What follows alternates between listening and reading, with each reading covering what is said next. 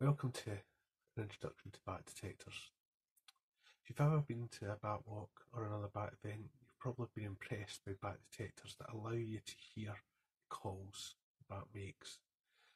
What it does is it brings ultra high frequency calls of the bat bats down and transfers them into a sound that we can hear.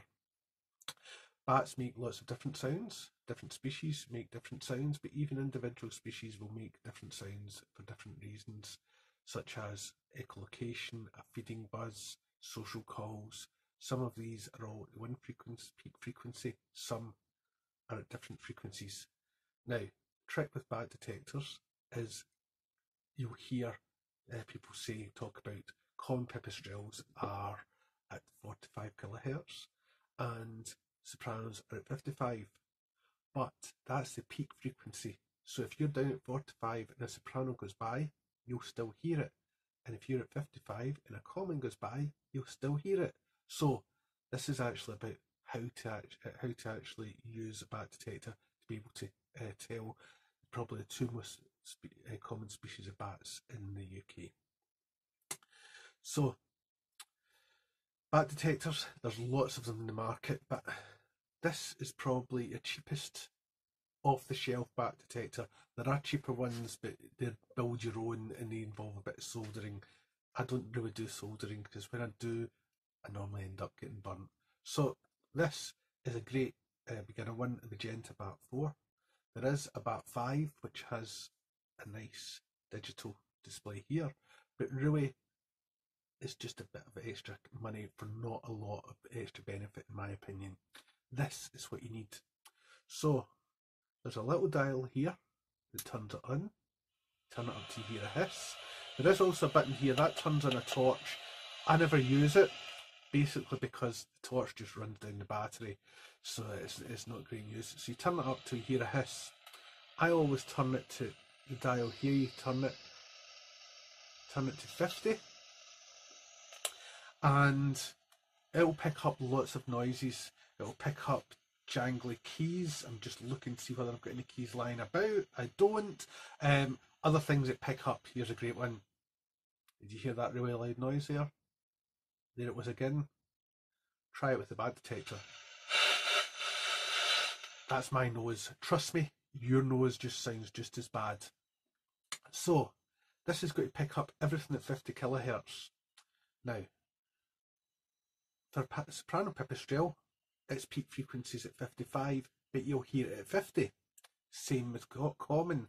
So what you do is set it to 50, wait for a pipistrelle to uh, bat, uh, bat to fly past.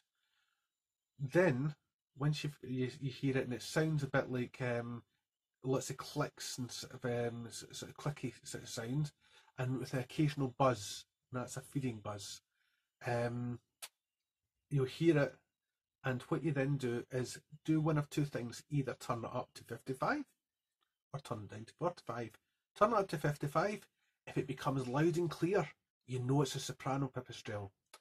But if it becomes high pitched and a bit tinny, you've went the wrong way and it's a common.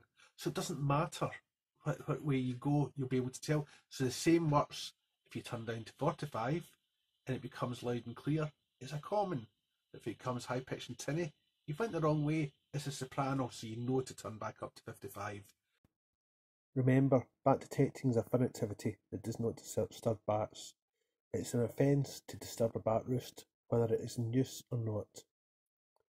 If you find a grounded or injured bat, contact the Bat Conservation Trust helpline 0345 1300 228. If the bat is in a position where it is in danger of being injured further, then put it in a pair of high gardening gloves or a pair of rubber gloves and place it in a lidded cardboard box with air holes in it. So to recap, turn it on to hear a hiss, set it to 50. Another way to check actually if it's on, rub your fingers together and hear it. Try not to bang the, um, the microphone, that's not going to do it any good. And when a bat flies past, probably a pipistrelle since they're a most common species. Either turn it up to 55 and it'll become loud and clear or high pitched and tinny. Loud and clear is a soprano, 55 peak frequency, High pitched and tinny is a 45. Uh, it's a common. So you would just turn it down to 45 and vice versa. So later on tonight, got to go out and see if we can hear any bats in my garden.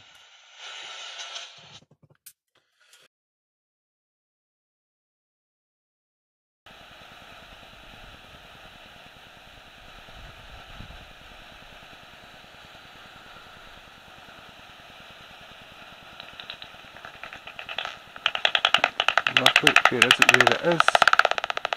Very loud. And I turn it down to 45. You hear how it gets very high pitched, but if I turn up to 55, it comes back through and it's very loud. So this makes it a soprano. In fact, there's two sopranos there, two soprano pipistrelles. They're the smallest bat in Britain.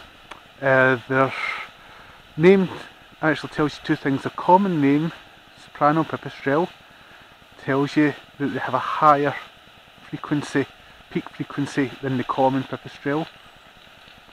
And also the Latin name, Pipistrellus pygmaeus, tells you that they're actually the smallest, uh, smaller than the common pipistrelle by only a fraction, sort of only sort of millimetre or so so there isn't much in it but they are, the soprano pipistrelle are uh, Britain's smallest bat species. So, not sure, there's still some about in the next door's garden or maybe one garden over. And also in the garden on the other side, just not in my garden.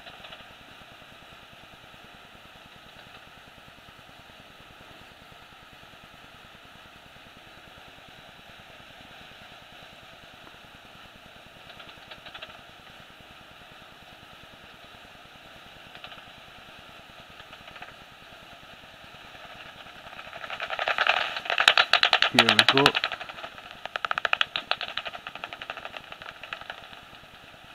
Then amongst all the clicks you'll sometimes hear a little buzz.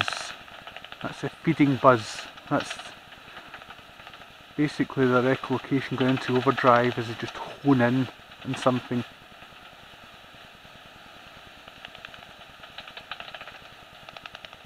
I'll turn down you hear, I turn down to 45, you can hear how it's very high pitched. If I turn up to 55 it becomes a lot louder and clearer.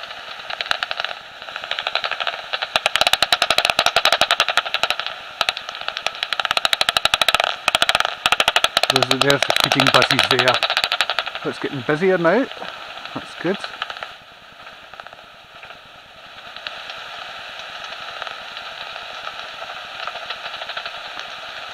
Nice and loud and clear at 55 and at 45 it goes all high pitched a bit tinny loud and clear at 55 so it's all sopranos we've got round here. I can count at least six flying around over the three gardens this garden one on either side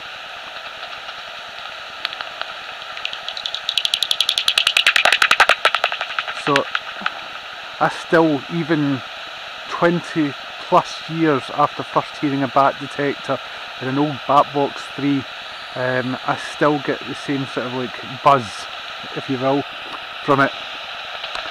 So I hope you've enjoyed this video, an introduction to bat detectors, and